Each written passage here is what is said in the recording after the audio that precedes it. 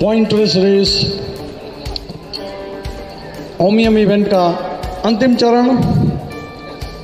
Ohmium event में इससे पहले तीन इवेंट हो चुके हैं। और इसमें जो लीडिंग है rider number three double five Satveer Singh जो कि सर्विसेज़ इंडियन आर्मी के सूबेदार हैं। इंडियन आर्मी के साथ साथ, देश की सुरक्षा के साथ साथ, देश की साइकिलिंग में भी उनका बहुत बड़ा योगदान। पिछले पंद्रह सालों से साइकिलिंग एक नेशनल लेवल पर साइकिलिंग में उनका बहुत बड़ा योगदान। सतवीर सिंह, आपने देखा भी।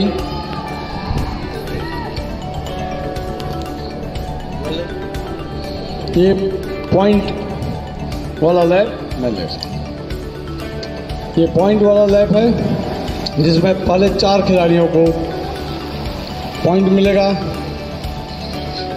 वहाँ पर ऑफिशियल्स इनके पॉइंट नोट कर रहे हैं।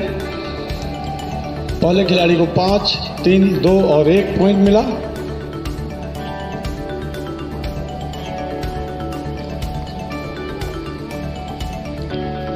एसएसबी के ओम प्रकाश थलोड़ रेस को तेज करते हुए